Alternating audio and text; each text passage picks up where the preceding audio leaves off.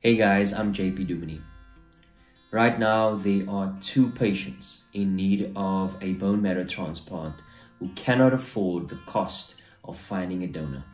A six year old boy from Gauteng and a 19 year old girl from the Free State both have rare forms of leukemia.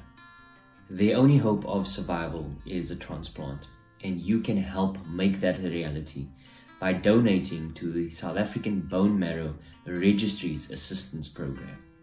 Nothing prepares a family for the devastating news of a loved one being diagnosed with a life threatening blood disorder, let alone not having the funds to pay for the treatment.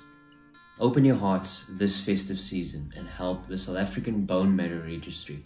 Help those in need through the Give a Little Save a Life campaign by donating 50 Rand or more via their BackaBuddy page or via their website, which is www.sabmr.co.za. It could give these patients the second chance they deserve.